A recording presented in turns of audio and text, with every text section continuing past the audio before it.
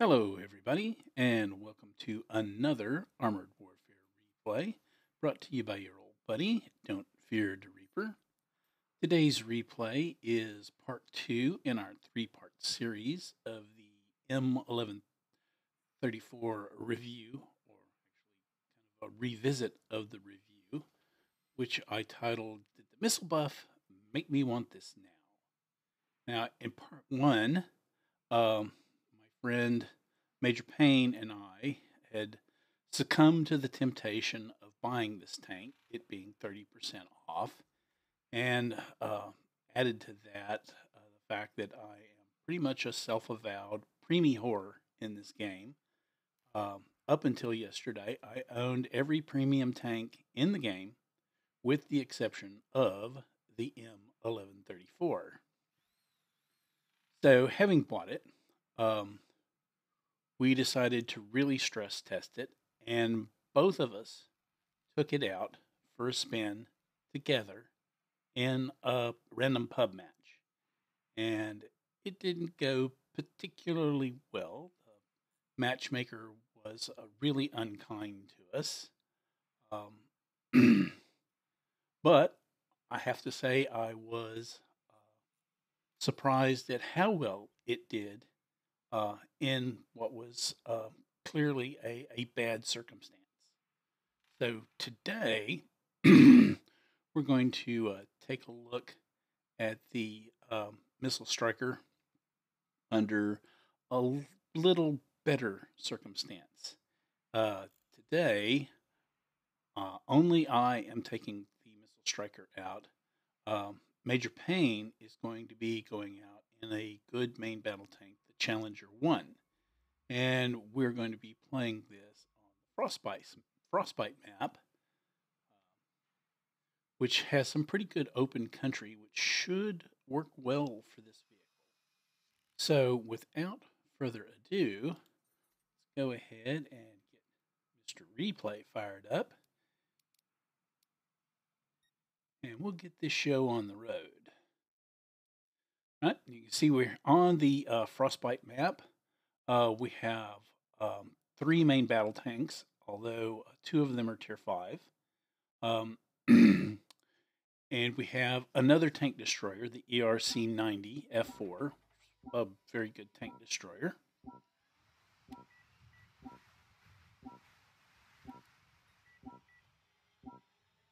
So now I decide I'm going to play um, this rather than as a scout, uh, a spotting scout, uh, as a long range sniper. So I'm going to kind of lay back and try and stay out of the view range of the enemy and support the battle tanks as they spot the bots. That's not going to give me maximum experience, but at this point we're, we're learning this tank. Uh, and first blood to me. So strategy is, at least in the first few seconds of the game, working well because I got the second kill as well. And the battle tank pops up. Major Pain spots him.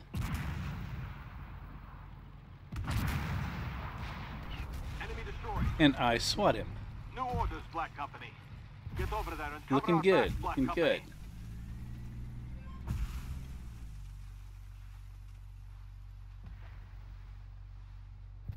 Target destroyed. Put the kibosh on that BMP. And so far, all four kills we have scored have been by me. As you can see, I'm well behind the front line. Nobody spotting me back here. Of course, I'm not doing much in the way of spotting myself.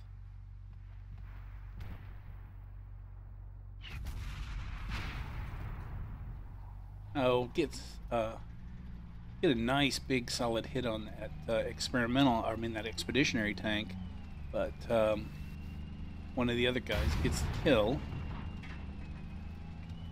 Um, like I'm really back, pleasantly surprised at the handling of this. Of course, you know we got a, a wheeled vehicle buff a few patches back, And that combined with the missile buff Well done, Black Company. Like Really, the worst of it. to me seems to make this tank kind of rise above its rather poor reputation. The enemy is changing. It looks like I'm working my way over to next. get the secondary, my uh, speed.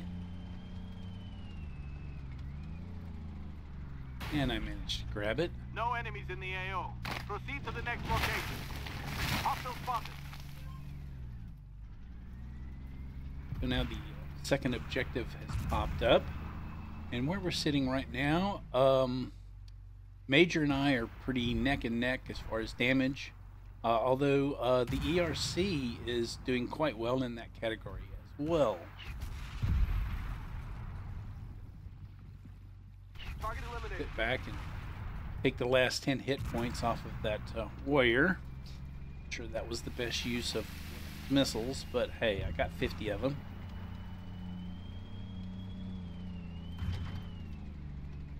Hmm. Just noticed I got a little bit of a replay bug going on here.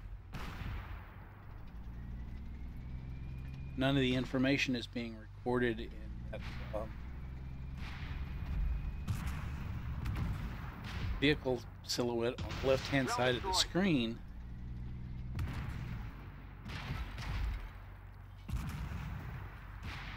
Fairly new because uh, looking at a replay from yesterday that did not have that little problem. So here, Major's uh, calling on me to assist him dealing with that lieutenant. And I finally started to draw the ire of the enemy artillery. Target And we take the lieutenant out.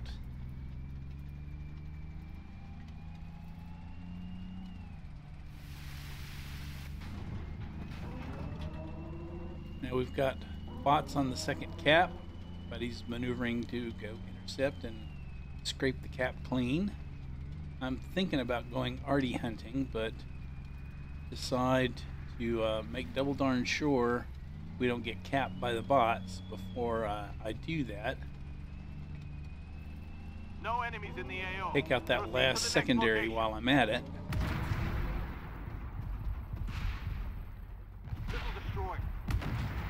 Fired at a Bradley, and of course it has APS. It destroyed my missile. ERC fires off his smoke, but I'm not actually in the smoke cloud, so it can interfere with my ability to spot and shoot at the enemy.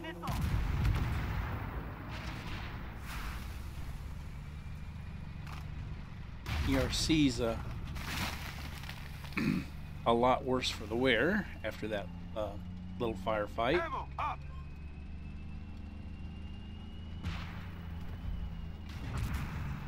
Decide to ignore the bagel and go grab that secondary. But as I come up on the bridge, two enemy main battle tanks pop up. Fortunately, The they had looks to be not spotted me. This thing has really good and be careful camouflage. out there. The blizzard is picking I pop one of them with the first missile. And the second missile is a bit of a face palm as I hit the scaffolding bridge. Oh well. The other tanks move up, they've got things well in hand, so I move on to take the secondary. Identify target. Hostile tank. Again, another enemy battle tank. Area uh, looks cleared. No sign of Chinese. Kind of enemy. Strike destroyed. the nuisance for a second, but two missiles uh, take care of him rather nicely. Identify target. I have to say, I'm I'm very happy with the missiles Area in looks this tank for its no tier. They're fast and they pack quite a punch. They're jocking around for a shot. All the air support. secondaries are done. place secured until they arrive. Uh, ERC has managed to get himself killed, but um, the T-72, Major Pain, and I uh, are all holding our own on doing damage. Artillery is once again taking a, a very active interest in me. and we've got enemy bots. It looks like a lot of enemy bots uh, crawling over the caps. I need to start doing something about that. Was trying to lay up a shot on that LA on that uh, 2AV, but decide that uh, Incoming. Driver, move. helping to clear the cap is far more important. That's what I head over here to do. I get over here in this road, which is a little bit sunken, gives me a little bit of protection on my hull. Incoming. Artillery is still annoying the Multiple systems down. heck out of me. Although, as far as the damage goes, it isn't that horrible. I've only taken 415, but darn near all of it from artillery. So we're starting to scrape the cap, and then Bradley pops up on my right. Deal with him. Artillery is still annoying me. Start backing up. Gotta get that Bradley out of there. While all of this is going on, we lose our uh, one of our tier five main battle tanks. The T-72 goes down.